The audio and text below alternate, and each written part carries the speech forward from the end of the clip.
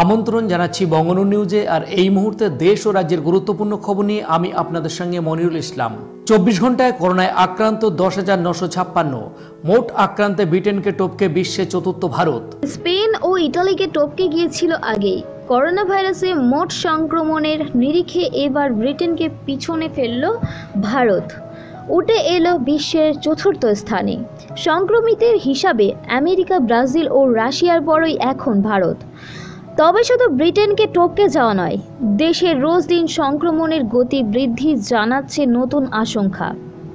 সংক্রমণ ও মৃত্যুর সংখ্যা বৃদ্ধিতে প্রতিদিনই তৈরি হচ্ছে নতুন রেকর্ড। শুক্রবারই তার অন্যথা হলো না।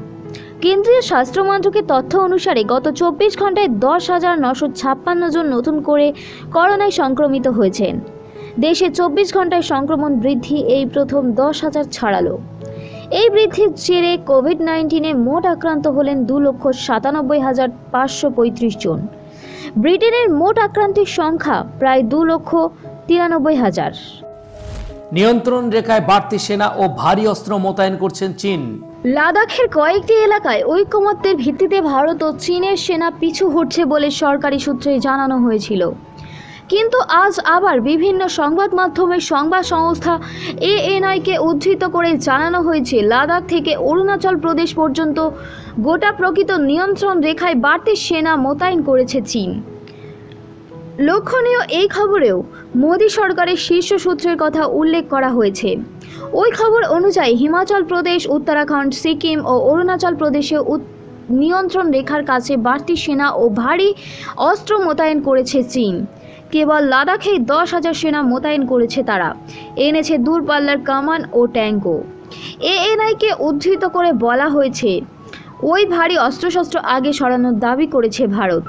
ভারতীয় সেনার মতে, প্রকৃত নিয়ন্ত্রণ রেখায় উত্তেজনা কমাতে এই পদক্ষেপ প্রয়োজন। নিয়ন্ত্রণ রেখা বরাবর চীনা সেনা মোতায়েনের খবর ছড়িয়ে পড়ায় নয়া বিতর্ক শুরু হয়েছে।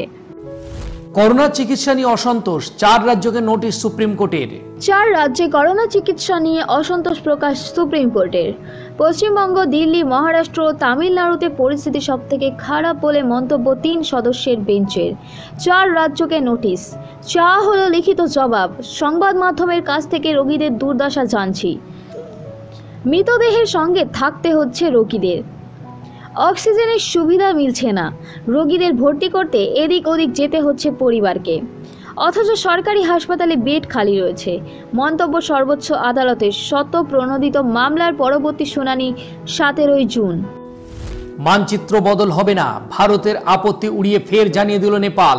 কোনো অবস্থাতেই মানচিত্রে বদল ঘটানো হবে না। একবার ফের সাপ জানিয়ে দিল নেপাল। লিপুলে গিরিপথ লিম্পিয়াধুরা এবং কালাপানিকে নিজেদের দেশের অংশ হিসাবে দেখিয়ে সম্প্রতি নয়া, মানচিত্র প্রকাশ করে তারা। তা নিয়ে দুই দেশের মধ্যে কূটনৈতিক টানাপোড়েন শুরু হয়েছে। তা সত্ত্বেও তারা নিজেদের সিদ্ধান্তেই অনড় থাকবে বলে জানিয়ে দিল কাঠমান্ডু। গত মে মাসে ওই বিতর্কিত মানচিত্র প্রকাশ করে নেপাল। তা নিয়ে দেশের মধ্যে কূটনৈতিক টানাপোড়েন শুরু হয়েছে। এমন পরিস্থিতিতে নেপাল বিদেশমন্ত্রী প্রদীপ গোয়েলিম সংবাদ মাধ্যমে বলেন, জম্মু কাশ্মীর নিয়ে গত দোসরা নভেম্বর নিজেদের মানচিত্র বদল ঘটায় ভারত। তারপরে আমরা এ ব্যাপারে সিদ্ধান্ত নিই। এটা স্থায়ী সিদ্ধান্ত কারণ ওই এলাকাগুলি নেপালের মধ্যেই পড়ে। এ নিয়ে কোনো অনিশ্চয়তা নেই। তবে কোন এলাকা নেপালের মধ্যে পড়েছে, তা নিয়ে এক প্রস্থ আলোচনা হওয়া দরকার। এত নির্লজ্জভাবে হিসড়ে নিয়ে যাওয়া হলো দেহ। ফের তোপ রাজ্যপালের। আকশি দিয়ে মৃতদেহ টেনে নিয়ে যাওয়ার বিষয়টিকে চূড়ান্ত পর্বে নিয়ে যাবেন বলেই আগেই হুঁশিয়ারি দিয়েছিলেন তিনি। গড়িয়া শ্মশানকাণ্ড নিয়ে একবার ফের সুর চড়ালেন রাজ্যপাল জগদ্দীপ ধনকর। বিষয়টি নিয়ে শুক্রবার সকালে টুইটারে ফের সরব হন তিনি। গোটা ঘটনাটিকে অসংবেদনশীল এবং অমানবিক বলে উল্লেখ করেন। এ নিয়ে পুরসভার প্রশাসক ফিরহাদ হাকিমের কাছে ব্যাখ্যা চেয়েছেন বলে জানান ধনগর। ত্রাণ মেলেনি। বিজেপি নেতার বাড়িতে বিক্ষোভ। ঘূর্ণিঝড় লকডাউনের জেরে বিপাকে পড়া কর্মী সমর্থক। ঘূর্ণিঝড় ও লকডাউনের জেরে বিপাকে পড়া কর্মী সমর্থকদের দলের রাজ্য দপ্তর থেকে ত্রাণ সামগ্রী পাঠালেও তা তাদের কাছে পৌঁছায়নি। এই অভিযোগে বিজেপি পতাকা হাতে দলের নেতার বাড়ির সামনে বিক্ষোভ দেখালেন কয়েকজন।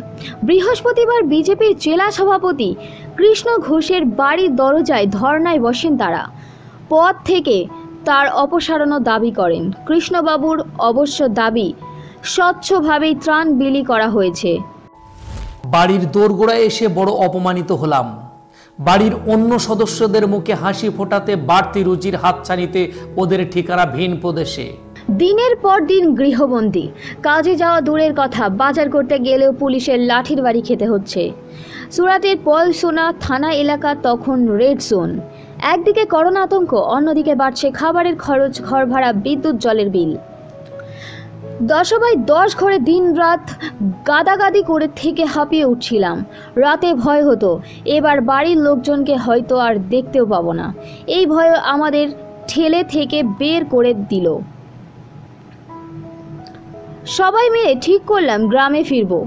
শেষ পর্যন্ত ঝুঁকি নিয়ে আড়াই লক্ষ টাকা দিয়ে একটি বাস ভাড়া করে পঞ্চাশ জন শ্রমিক মিলে রওনা দিলাম নিজের দেশে। আমাদের পকেট তখন প্রায় ফাঁকা। সকলেই বাড়িতে ফোন করলাম, যে কোনো উপায়ে টাকা পাঠানোর জন্য। কেউ গরু, ছাগল বিক্রি করে, কেউ আবার পাটির জমি বন্ধক দিয়ে, কেউ বা গয়না মহাজনের কাছে বন্ধক রেখে টাকা পাঠিয়েছিলেন। খুব কষ্ট হয়েছিল পরিবারের সদস্যদের জন্য। কিন্তু তারপরেও মনে হয়েছিল, আর যাই হোক, নিজের দেশে তো ফেরা হবে। মরলে দেশেই মরবো। বেসরকারি কর্মীদের জন্য সুখবর, ভোগান্তি এড়াতে সংস্থার কাছে বিশেষ অনুরোধ মুখ্যমন্ত্রীর। আনলক ওয়ানে সবেমাত্র স্বাভাবিক ছন্দে ফেরার চেষ্টা করছে তিলোত্তমা। দীর্ঘদিন পর সরকারি, বেসরকারি, একাধিক অফিসেই শুরু হয়েছে কাজ। প্রয়োজনে বাড়ি থেকে বেরোচ্ছে আম জনতা। তবে গন্তব্যে পৌঁছতে ভরসা শুধুমাত্র বাস। তার ফলে ভোগান্তি যে একেবারে হচ্ছে না তা নয়। এই পরিস্থিতিতে সরকারি কর্মীদের অফিস পৌঁছতে দেরি হলেও হাজিরা খাতায় লাল কালির দাগ পড়বে না বলে আগেই জানিয়েছিলেন মুখ্যমন্ত্রী মমতা বন্দ্যোপাধ্যায়। এবার বেসরকারি সংস্থার কর্মীদের কথা ভেবেও বিশেষ অনুরোধ জানালেন রাজ্যের প্রশাসনিক প্রধান ফেসবুক পোস্টের মাধ্যমে অনুরোধ জানিয়েছেন তিনি। গ্রামবাসীদের আগে আমফনের ক্ষতিপূরণের টাকা পেলেন কর্মাধ্যক্ষ। প্রতিবাদে বিক্ষোভে স্থানীয়দের। আমফানের তাণ্ডবে ঘরবাড়ি হারিয়েছেন বহু মানুষ। প্রায় তিন সপ্তাহ পার হয়ে গেলেও এখনও ক্ষতিপূরণ পাননি তারা। অথচ কর্মাধ্যক্ষ ও তার অবস্থাপন্ন পরিবারের লোকেরা ক্ষতিপূরণের টাকা পেয়ে গিয়েছেন। বৃহস্পতিবার সে ক্ষোভে উত্তাল হয়ে ওঠে শাসনের দাঁতপুর অঞ্চল। সেই অভিযোগ নিয়ে এদিন দাঁতপুর গ্রাম পঞ্চায়েতের পূর্ত কর্মাধ্যক্ষ আশের আলীর বাড়ির সামনে বিক্ষোভ দেখান গ্রামবাসীদের একাংশ। গরু জবাই করলেই দশ বছর জেল এই বিধান উত্তরপ্রদেশ অর্থাৎ যোগীর রাজ্যে। গরু নিয়ে নোংরা রাজনীতি চলছে পাল্টা মন্তব্য প্রতিবাদ। গো রক্ষার নামে মানব হত্যা এই বিষয় নিয়ে বেশ কয়েক বছর ধরে চলছে এক নোংরা রাজনীতি। দেশের সবচেয়ে বড় কসাইখানার মালিকগুলি বেশিরভাগই হিন্দু। এবার সেই গরু কাটা জবাই করলে দশ বছরের জেলের সাজার আইন পাশ করল উত্তরপ্রদেশ সরকার। বিজেপি শাসিত উত্তরপ্রদেশের যোগী আদিত্যনাথ সরকার গরু জবাই করলে দশ বছরের কারাদণ্ডের বিধান রেখে নতুন আইন জারি করেছে। মঙ্গলবার উত্তরপ্রদেশ রাজ্য মন্ত্রিসভায় গো হত্যা প্রতিরোধ অধ্যাদেশ দু হাজার কুড়ি নামের নতুন এই আইন পাশ হয়েছে। যে দলের মিছিল মিটিংয়ে বাঙালি নেতাকর্মীর সংখ্যা নেহাতি নগণ্য, তারা বাংলা জয়ের অলিক স্বপ্ন দেখছেন, বললেন সোমেন মিত্র। বাংলার মানুষের জন্য, দেশের স্বরাষ্ট্রমন্ত্রীর বক্তব্যে রাজ্যের জন্য কিছু ঘোষণা হবে ভেবেছিলাম। কিন্তু এত অসত্য ভাষণ আমার দীর্ঘ রাজনৈতিক জীবনে শুনিনি।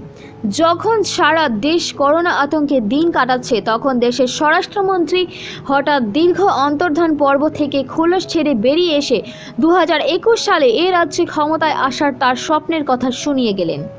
যে দলের মিছিল মিটিংয়ে বাঙালি নেতা কর্মীর সংখ্যা নেহাত নগণ্য, তারা বাংলার জয়ের অলিক স্বপ্ন দেখছে। বাংলার সম্পর্কে তার যে কোনো ধারণাই নেই। সেটা প্রমাণ হলো, ঠাকুর রামকৃষ্ণদেব এবং স্বামী বিবেকানন্দের সম্পর্কে তার জ্ঞান শুনে তিনি বললেন, ঠাকুর আর স্বামীজি নাকি হিন্দু ধর্ম পুনরুদ্ধার করেছেন। এই উভয় মহাপুরুষের শিক্ষার ভিত্তি যে সর্বধর্মের সমন্বয়, সেই ন্যূনতম জ্ঞানটুকু যাদের নেই।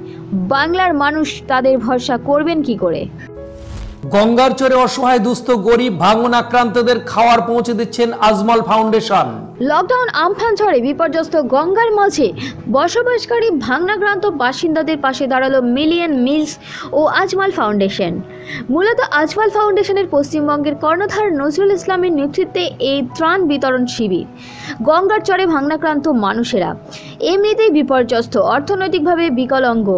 মূলত তারা নেই রাজ্যের বাসিন্দা। রাস্তাঘাট, পানীয় জল বিদ্যুৎ স্বাস্থ্য কোনো পরিষেবাই তারা সঠিকভাবে পায় না সম্প্রতি আমফানে তাদের অনেকেরই ফসলের ক্ষতি হয়েছে এখনও চরবাসীদের জন্য সাহায্যের হাত বাড়িয়ে দিলেন আজমল ও মিলিয়ন মিলস वो लोग बहुत फंसे हुए हैं और लाचार है मजबूर है और हमारे यहाँ जो बच्चे हैं वर्कर्स हैं सब काम कर रहे हैं लोगों तक खाना पहुँचा रहे हैं यह मैं कह सकता हूँ अजमल फाउंडेशन के ज़रिया पूरा मगरबी बंगाल में पहले 45,000 उसके बाद 10,000 उसके बाद फिर एक जगह 36,000 मिलियन मिल्स का पैकेट आया और दूसरी जगह भी मिलियन मिल्स का पैकेट का बंदोबस्त वेस्ट बंगाल में किया है।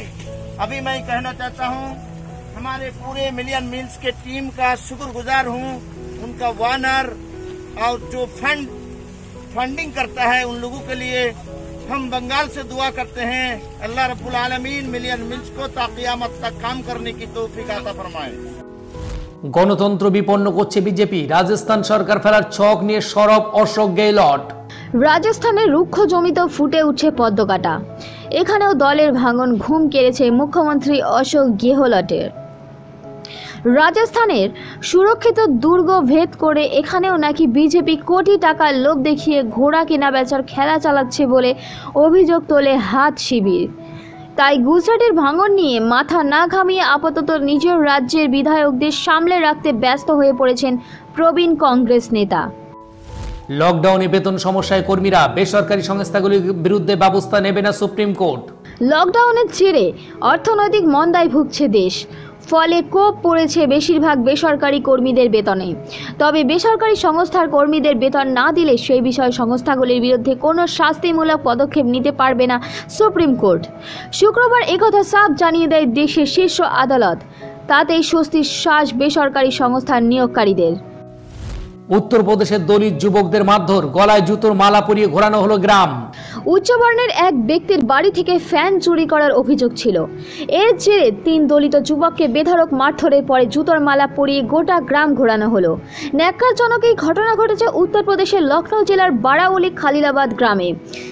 স্থানীয় সূত্রে জানা গিয়েছে, ঘটনাটির সূত্রপাত হয় গত চারই জুন। একজন ওবিসি ও দুজন তফসিলি। সম্প্রদায়ের যুবকের নামে একজন উচ্চবর্ণের ব্যক্তির বাড়ি থেকে একটি ফ্যান চুরির অভিযোগ ওঠে। এরপরে উচ্চবর্ণের লোকদের একাংশ জোর বেঁধে ওই তিনজনকে পাকড়াও করে। তারপর তাদেরকে বেধড়ক মারধর করার পর মাথা ন্যাড়া করে গলায় জুতোর মালা পরিয়ে গোটা গ্রাম ঘোরায়। আমফান দুর্গত এলাকায় অসহায়দের মাঝে ত্রাণ পৌঁছে দিলেন সংখ্যালঘু যুব ফেডারেশনের সম্পাদক কামারুজ্জামান। আমফান দুর্গত এলাকায় অসহায়দের মাঝে ত্রাণ পৌঁছে দিলেন কামরুজ্জামান সাহেব। আপনারা দেখছেন বঙ্গনোর নিউজ। আমফান দুর্গত এলাকায় অসহায়দের মাঝে ত্রাণ পৌঁছে দিল সারা বাংলা সংখ্যালঘু যুব ফেডারেশন। এদিন উত্তর ও দক্ষিণ চব্বিশ পরগনা জেলার বন্যা বিধ্বস্ত এলাকা হাসনাবাদ ব্লকের হিঙ্গলগঞ্জ বিধানসভা কেন্দ্রের পাটলি খানপুর অঞ্চলে পাটলি উত্তরপাড়া, জয়গ্রাম, বালিয়াডাঙ্গা, দাসপাড়া, খালিশাখালি, দাদনপাড়া, মিশনপাড়া, পূর্ব গুনি শকুন্তলায় ত্রাণ বন্টন করা হয়েছে বলে জানিয়েছেন সংগঠনটির সাধারণ সম্পাদক মাওলানা কামরুজ্জামান সাহেব। দেগঙ্গা ও হাড়োয়া ব্লক কংগ্রেসের পক্ষ থেকে আমফান জলে ক্ষতিগ্রস্ত মানুষদের সঠিক ক্ষতিপূরণের দাবিতে দেগঙ্গা বিডিওতে ডেপুটেশন। দেগঙ্গা ও হাড়োয়া ব্লক কংগ্রেসের পক্ষ থেকে আমফান ঝড়ে ক্ষতিগ্রস্ত মানুষের সঠিক ক্ষতিপূরণের দাবিতে দেগঙ্গা ভিডিওতে ডেপুটেশন। আপনারা দেখছেন বঙ্গনুর নিউজ। সম্প্রতি আমফান ঝড়ে জেলায় যেসব বসত বাড়ির ক্ষয়ক্ষতি হয়েছে, তার ক্ষতিপূরণ দেওয়ার কথা রাজ্য সরকার ঘোষণা করায় প্রতিটি পঞ্চায়েত ক্ষতিগ্রস্ত তালিকা তৈরি করছে। তালিকা তৈরির কাজে আগে দলীয় স্বজন পোষণের অভিযোগ তুলেছে জাতীয় কংগ্রেসের দেগঙ্গা ও হারোয়া ব্লক কংগ্রেস। অভিযোগ উঠেছিল, তদন্ত ছাড়াই গোপনে তালিকা তৈরির কাজ চলছে। গত বৃহস্পতিবার একই অভিযোগ তুলে দেগঙ্গা ভিডিও অফিসে এদিন ডেপুটেশন জমা দেয়। হারোয়া ব্লক কংগ্রেসের সভাপতি বাকবুল ইসলাম বলেন, স্থানীয় তৃণমূল পঞ্চায়েত সদস্য বেছে বেছে কিছু দলীয় লোকের নাম ক্ষতিপূরণের তালিকা করে পঞ্চায়েতে জমা দিয়েছে। প্রকৃত প্রাপকরা বঞ্চিত। ব্লক প্রশাসনকে সরেজমিন তদন্ত করে ক্ষতিপূরণের ব্যবস্থা করার দাবি নিয়ে আমাদের এই আন্দোলন। দেগঙ্গা ব্লক কংগ্রেস সভাপতি মিয়ারাজ বৈদ্য বলেন আমরা ব্লক প্রশাসনের কাছে দাবি করছি। ব্লক প্রশাসন তারা উপযুক্ত তদন্ত করে যারা ক্ষতিগ্রস্ত তাদের ক্ষতিপূরণের ব্যবস্থা গ্রহণ করুক, এটাই আমাদের দাবি।